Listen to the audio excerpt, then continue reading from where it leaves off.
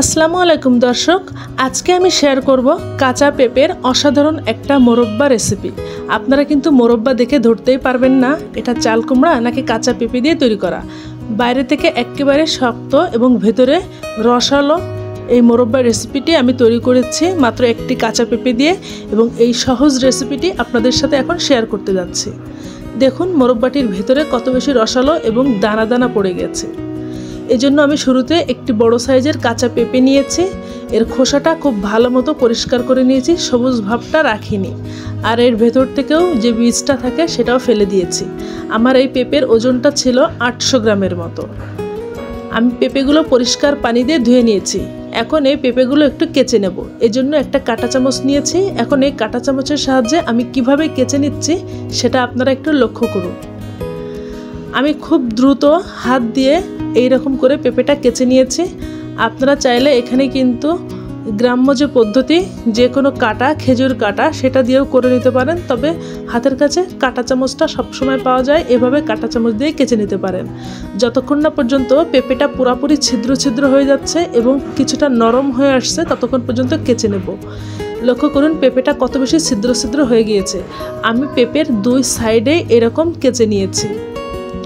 পেঁপেটা কেচে নেওয়া হয়েছে কিনা সেটা বোঝার জন্য আপনাদের আমি ভিডিওতে দেখাচ্ছি। এইরকম করে চাপ দিলে যদি পেঁপে থেকে কিছুটা রস বের হয়ে আসে এবং নরম হয়ে যায়, তাহলে বুঝবেন পেঁপেটা খুব ভালো মতো কেচে নেওয়া হয়ে গিয়েছে। এখন আমি এই পেঁপেটা খুব ভালো মতো ধুয়ে নেব। পরিষ্কার পানি দিয়ে আমি ধুয়ে নিয়েছি। ঠিক এরকম যতক্ষণ না পর্যন্ত টলটলে পানি বের হয়েছে, ততক্ষণ পর্যন্ত ধুয়ে নিয়েছি। এখন পেঁপেগুলো পানি থেকে তুলে ফেলছি। এই পেঁপেটা একেবারে প্রফেশনাল শক্ত কচকচে করার জন্য আমি একটা উপাদান ব্যবহার করব, সেটা হচ্ছে পান দিয়ে খাওয়া চুন।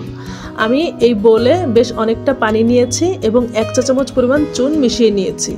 এই চুনের ভেতরে এই পেঁপেগুলো এখন আমি সব ডুবিয়ে রাখব। তার আগে বড় বড় সাইজের পেঁপেগুলো আমি ছোট ছোট পিস করে কেটে নিচ্ছি। বড় বড় পিস করে কেচে নিয়েছিলাম, এতে কেচে নিতে সুবিধা হয়েছিল। এখন আমি এরকম টুকরা করে নিচ্ছি। টুকরা করে সবগুলো টুকরা এই চুনের পানিতে এখন ভিজিয়ে রাখব ছয় থেকে সাত ঘণ্টা। অবশ্যই ছয় থেকে সাত ঘণ্টা ভিজিয়ে রাখার চেষ্টা করবেন। এতে করে এই পেঁপেগুলো কিন্তু আর নরম থাকবে না, অনেকটাই শক্ত হয়ে যাবে এবং মোরব্বটা খেতে অনেক বেশি সুন্দর কচকচ করবে। আমি ফিরে আসছি ছয় ঘণ্টা পর। ছয় ঘণ্টা পর লক্ষ্য করুন, এই পেঁপেগুলো কিন্তু অনেক বেশি শক্ত হয়ে গিয়েছে। আমি চাপ দিয়ে দেখাচ্ছি, আপনারা তৈরি করলেই বুঝতে পারবেন। এখন আমি এই পেঁপেগুলো পরিষ্কার পানি দিয়ে ধুয়ে নেব পাঁচ থেকে ছয়বার যতক্ষণ না পর্যন্ত এইরকম পরিষ্কার টলটলে পানি বের না হচ্ছে। এখন এই ধুয়ে রাখা পেঁপেগুলো আমি সেদ্ধ করে নেব। এজন্য চুলায় একটি কড়াই বসিয়ে তাতে দিয়ে দিয়েছি পর্যাপ্ত পরিমাণ পানি। যতটুক পানিগুলো পেঁপেগুলো একেবারে ডুবে থাকবে ঠিক ততটুক পরিমাণ পানি দিতে হবে।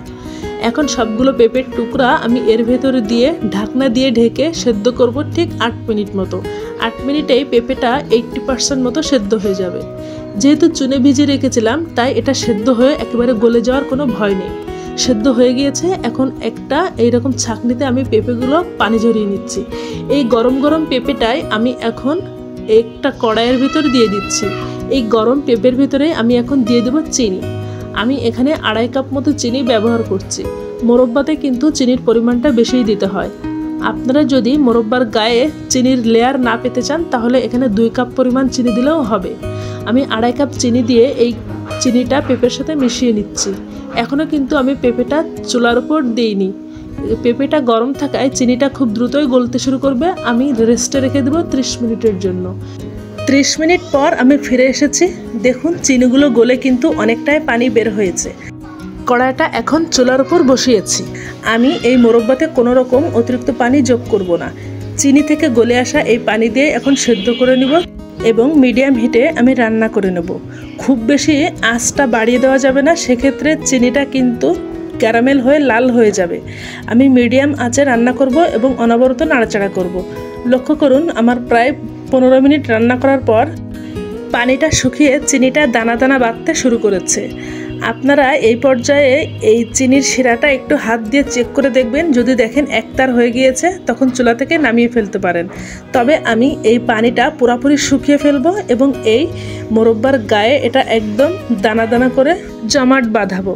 এজন্য আমি পানিটা পুরোপুরি শুকিয়ে নেব। আমি আরও দু মিনিট মতো নাড়াচাড়া করে নেব। দু মিনিট মতো নাড়াচাড়া করে নিয়েছি এবং চিনিটা পুরাপুরি টেনে নিয়েছে। এখন আমি কড়াইটা চুলা থেকে নামিয়ে মোরব্বাগুলো ফাঁকা ফাঁকা করে ফ্রিজের নর্মালের যে র্যাকটা আছে, তাকটা আছে, তার উপরে ছড়িয়ে দিয়েছি। এখন শুকিয়ে নেওয়ার পর পরিবেশন করছি। ত্রিশ মিনিটের ভেতরে চিনিটা একেবারে শুকিয়ে গিয়েছে এবং মোরব্বার গাটা একেবারে ড্রাই হয়ে গিয়েছে। লক্ষ্য করুন, মোরব্বাটার বাইরের সাইডটা একেবারে ড্রাই এবং অনেকটা শক্ত হয়ে গিয়েছে। কিন্তু ভেতরটা কিন্তু একেবারে জুসি। আমি একটা মোরব্বা কেটে শেয়ার করছি, লক্ষ্য করুন। এটা খেলে আপনারা ধরতেই পারবেন না, এটা চাল কুমড়া নাকি পেঁপে দিয়ে তৈরি করেছি।